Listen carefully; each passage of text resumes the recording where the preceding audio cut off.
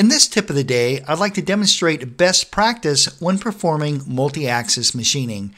In this example, we have a part that's been held to an indexer using a little fixture here. Let's turn the indexer and fixture layers off so we can just focus on the part.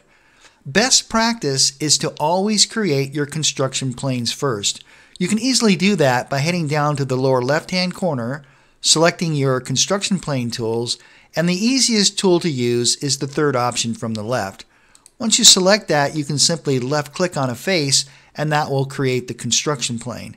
Now you do need to save it, so let's click Save. I'm going to give it a simple name like Side 1. Very good, so we'll click OK to that. Let's do the same thing for the next side. We're going to use the same option, left click the face, click Save, and we're going to call this one Side 2. Very good, so we'll click OK to that.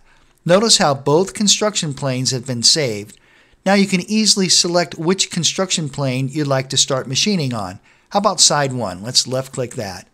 Let's head over to the Command Manager, go into our stock toolpaths, and let's perform a profile operation. I'm going to select the geometry.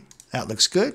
If we take a look at the tool parameters, I'm quite happy with the turret position, the speeds and feeds, so we'll just click next on that. Our depth of cut looks great, clearance values look good, we'll click next. All this looks very good, so we'll go ahead and just click finish and let OneCNC generate the toolpath. Now when it comes time to machine the second side, simply select side 2. Now we can go into, let's say, a pocket operation. Let's select the pocket, right hand mouse click, and again, I'm happy with the parameters for the tool here. I'm going to say all this looks good. We'll click next on that. Depth of cut looks great. High speed closed. We're going to use ramp zigzag. We'll click next on that.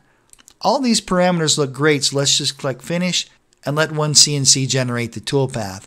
Now if I need to perform machining back on side 1, I can simply select side 1. Now you may have noticed that OneCNC creates a construction plane for each machining operation that you perform.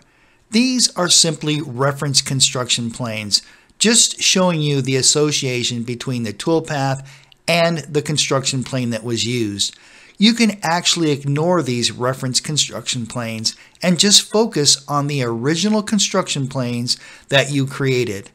In fact, if you'd like, you can delete the reference construction planes by highlighting and simply selecting the delete button.